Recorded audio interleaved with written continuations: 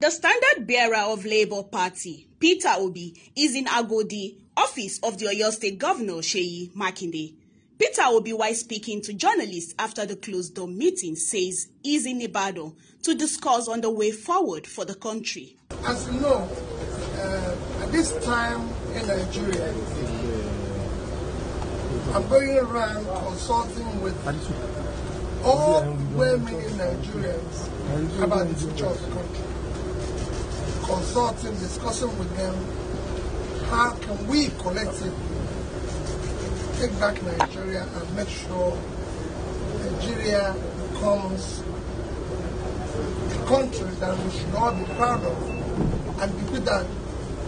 Young ones and the children of Nigeria. Peter Obi, while acknowledging the progress made so far, 62 years after independence, said more still needed to be done to take Nigeria out of the present challenges. In 62 years, that we performed poorly, but we survived as a nation. But in terms of being proud of saying that we've achieved a lot, we can't celebrate that. But we celebrate because we're still a nation together and everything.